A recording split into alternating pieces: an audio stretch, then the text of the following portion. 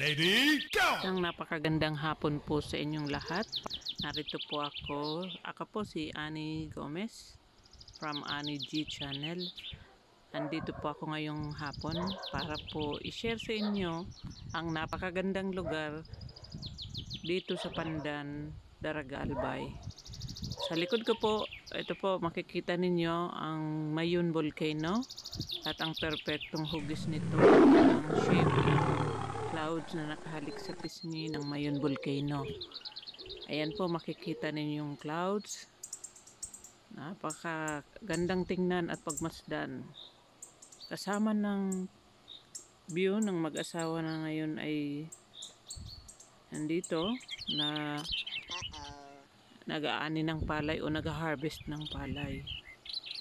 Ayan po sila, busy-busy po sila. Makikita ninyo yung kanilang abala, ang kanilang lugar. Ayan, naglalagay lang sila ng tolda para pag napapagod sila. Kasabay din po nito ang luntian na kulay, ang haring araw. Ngayon ay nakatago sa iba't ibang uh, shape ng clouds. Yan, balikan din natin ang Mayon Volcano. Siya talaga yung kahali-hali na ang kulay at ang shape. Yan. Ayan po ang Mayon Volcano. Dito po sa Pandan Darag Albay ay makikita rin ninyo ang iba't ibang ano, lugar, mga palayan, malawak na palayan. Andiyan po. So, nako-cover natin ngayon ang uh, sunset. Madali ng mag uh, hapon at uh, yun. Gusto kong balik-balikan yung itong mag-asawa, itong gaani ng palay. Dahil po uh, gusto kong balikan dahil po sa magandang memories na meron kaming magkakapatid na dito kami lumaki o kaya lumaki kami sa pag-ani tinuruan kami kung paano mabuhay maglinis ng mga palayan para makiani.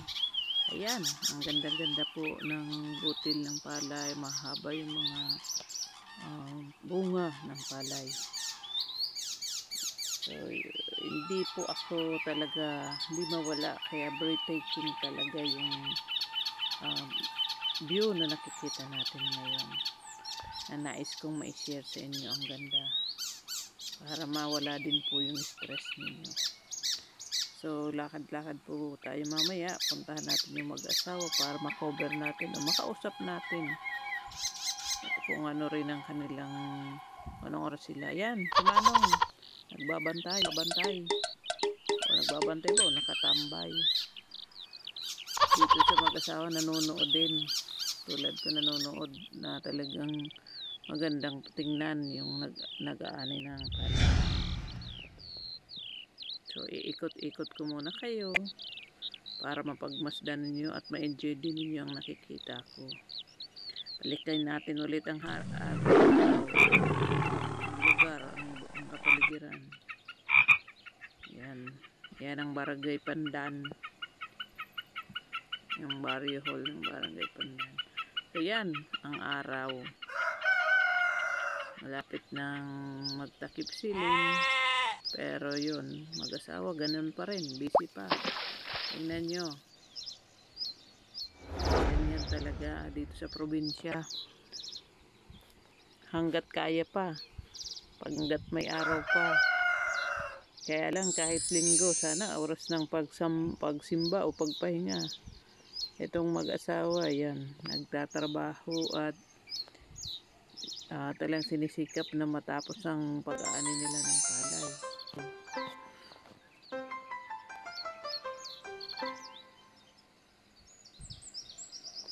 So, yan. Tingnan natin. I-view natin sila. Si Kuya. Sige lang ng sige ng pag-ani.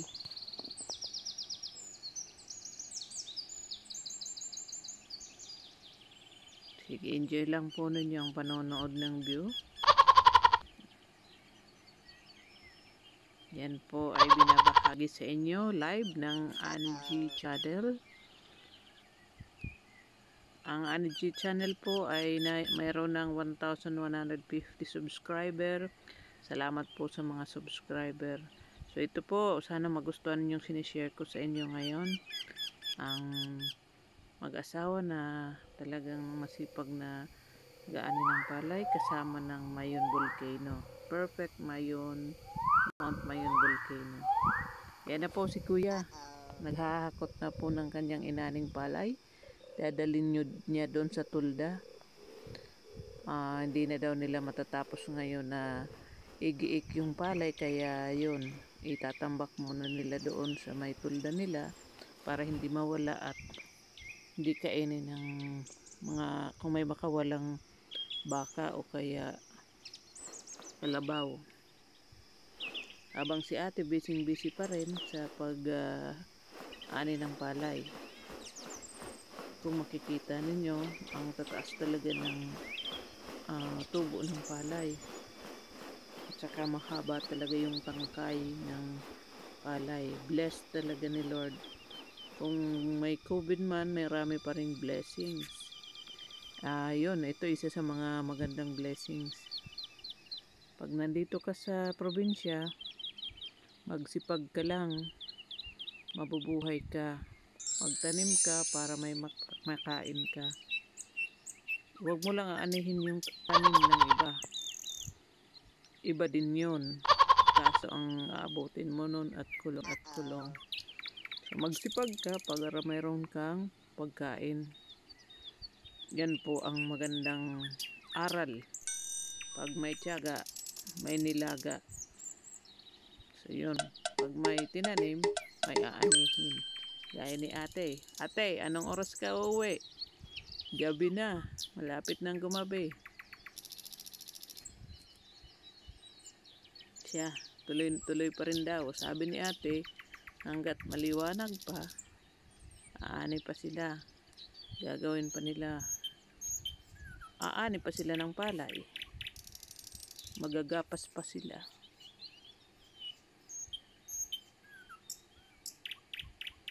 Ang napakagandang pag-uugali ng nating mga Pilipino sa kabila na pagod na, at maraming problema nakangiti pa rin.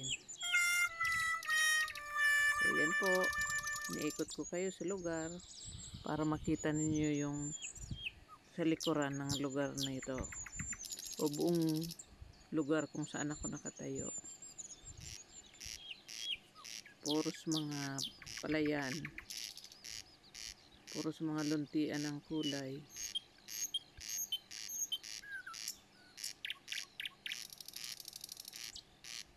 So enjoy nyo lang po ang panonood habang binibidyoan natin sina kuya.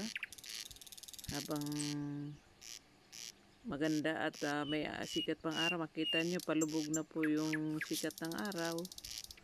Ayan Si kuya tuloy-tuloy pa rin. Tuloy-tuloy pa siya sa paghakot. Nakaka-inspire naman yung mga ganitong tao. Naalala ko tuloy ang aming mga magulang. Ganitong ganito ang buhay namin na masarap balikan. Napakagandang balikan. Ayan kuya, magmerienda ka muna sa pasensya sa konting na pag uh, makayanan so yan mga kapal, uh, mga kaibigan nakikita natin. So sana po hindi kayo magsawa sa panonood. Sana ma-enjoy din po ninyo yung sinishare ko sa inyo ngayong hapon. Habang may araw pa nakikita natin yung magandang lugar. Yan kanina kung gaano kataas yung araw. Ngayon palubog na po yung araw. Pero masarap na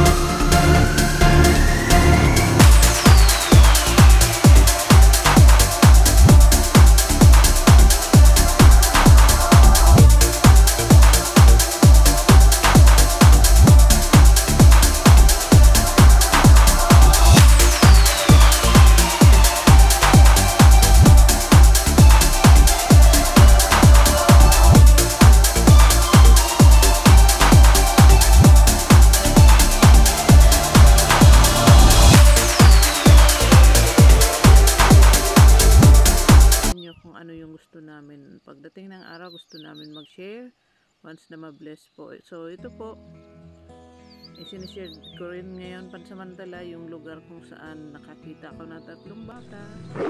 Abundant, abundant yung lugar. Nangingit na nga. Dito na lang po magtatapos ang aking vlog.